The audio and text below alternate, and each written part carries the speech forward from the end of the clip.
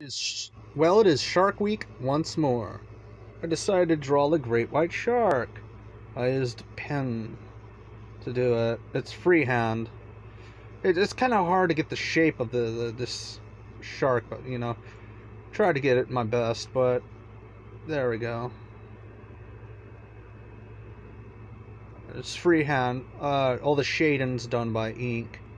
Just your standard office pen ink. So, what do you think about my uh, latest drawing? It's my tribute to Shark Week, plus the second time I've done a tribute to Shark Week. M- last one was 2019.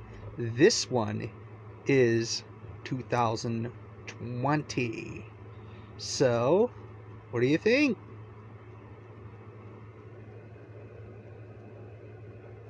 Um, leave likes, comments, and share with your friends. Alright, talk to you folks later. Have a good one. Be safe.